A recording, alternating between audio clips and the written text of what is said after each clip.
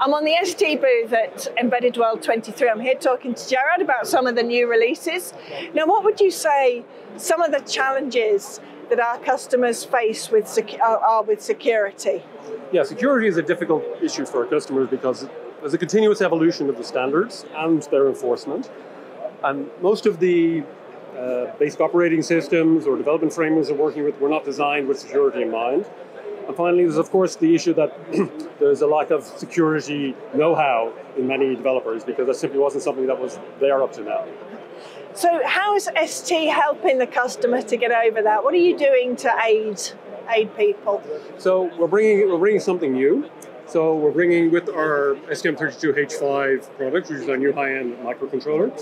Uh, we're bringing a secure manager, which is a piece of software that is uh, certified and maintained by ST, uh, which they can place on, on this device and on other devices in the future for, from ST, which will basically take care of that whole security aspect and allow them to either very simply use that, or if they're experts, to start building on that and, and add to it.